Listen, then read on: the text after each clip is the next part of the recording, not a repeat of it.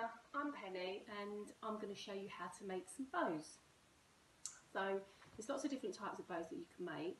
Today I'm going to show you how to make these um, flower bows. Okay, There's lots of different types of centres that you can buy um, and I'll show you my assortment. Um, there's a few things that you're going to need. Okay, A glue gun, um, some bands Okay, with regards to these bands, these are tiny little elastic bands and these are horse bands. Now you can buy these from eBay.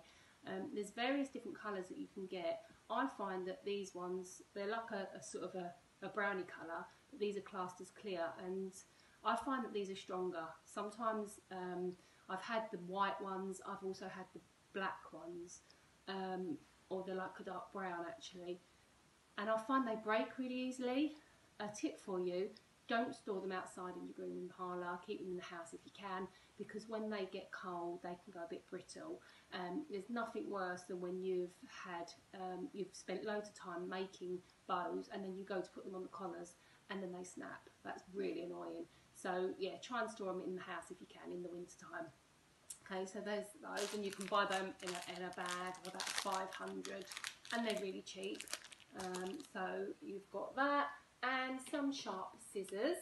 Um, I have a mat that I use um, and this is basically just a, a cut out square of an old grooming mat that I don't use anymore just to keep my table clean and I've got my measurements on there as well. Um, with regards to ribbon, there's lots of different ribbons that you can buy. Um, I like organza ribbon. It's a really nice ribbon to use. I've tried various different ribbons if you go for the thick ones, um, it doesn't always work particularly well. So when purchasing ribbon, go for organza. Um, this thickness of this ribbon, uh, the width of it rather, is 40 millimeters. Um, so your 40 millimeter ribbon will give you this size bow. Okay, um, if you go for the next size up, I haven't got any, which they'll, they'll be about that big, um, 70 millimetre, okay? So um, if you want to make larger bows for bigger dogs, then go for the 70 mil. Um, but these are quite nice. These are these are quite nice on all different sizes. Um, a good all-round size for that one. Um, okay, so I'm going to talk you through uh, how to make the bow, and I'm going to show you some of my centres. I've got a nice range. When buying your centres, um, look up embellishments um, and then you'll get a whole range of things to come up. I also like to use buttons. If you're going to use buttons, um, some of them, like these ones here, uh, I don't know if you can see that, they come with this little sort of loopy type thing on the back. Um, so I find it helps to have some of these um, in my box because uh, what I do is just take that back bit off snip it. Got to hold my hand over it, otherwise it will ping at you. Um, just so that the back's nice and flat. Whoops, dropped it. Um, yeah, just so that the back's nice and flat, so that when you go to push it on, there's nothing um, sort of stopping it from laying nice and flush. All right, show you some of my Okay, so these are my seasonal ones. Um, these are really cute. Some little um, bats, which I think are really sweet. Um, I've got some skulls for Halloween, which I think are quite cute. These were really cool. They were for World Cup one year. Um, bells for Christmas, stockings, Easter, bunnies. Okay, and then, oh, these are really cute. Look, they're really sweet for Halloween. Okay, moving on to this one, my little general box here. As you say, I've got loads because once upon a time I was addicted to finding different centres. They're hearts, they're really cute. These are good for Valentine's. You can make Valentine's ones.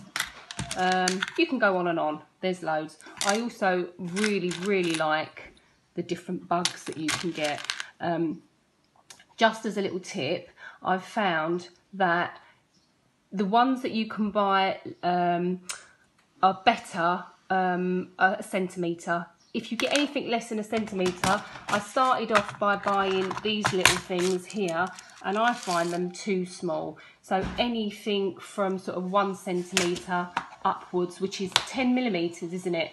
So yeah, 10 mil and up, I find are the better size to use. All right, okay. So I'm going to start with my ribbon, okay, and I've cut this to 14 centimetres.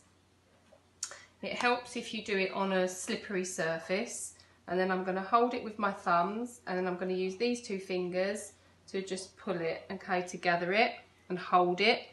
Then my fingers, I'm going to pull it and then grab, pull it and grab, pull it, grab, pull it, and then grab that last bit, okay? And then essentially you've got this little sort of fan, okay? Hold that tight, take a band, okay? Put it over, and then pull it like that, okay? Turn it.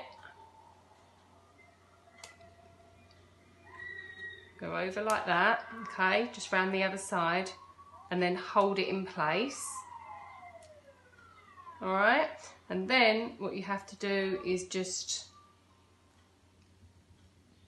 pull it round either side to make a flower.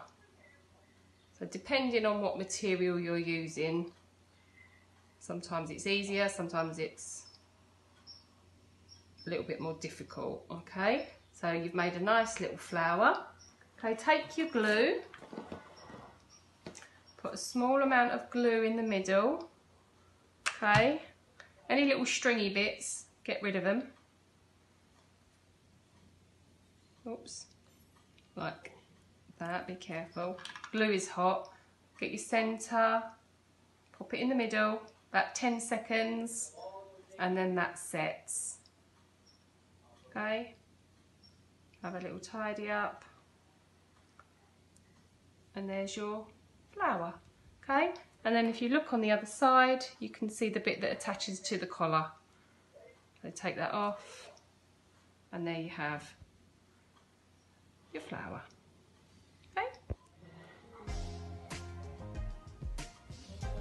And here we have the finished bows in a range of centres and colours. I hope you enjoyed that. Thanks for watching.